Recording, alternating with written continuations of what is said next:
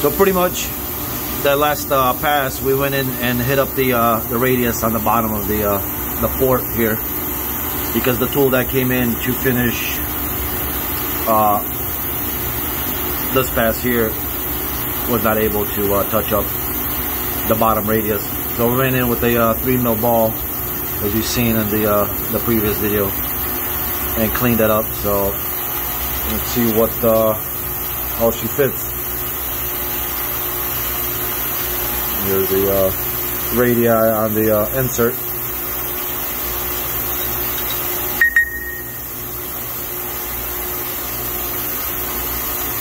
And have a nice fit.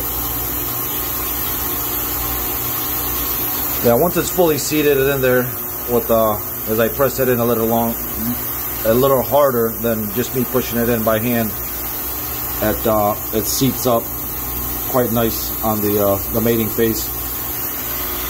So uh, I just don't want to get it stuck in there right now. I need to move it out. There you go. So that's that. Thanks for watching. Peace out.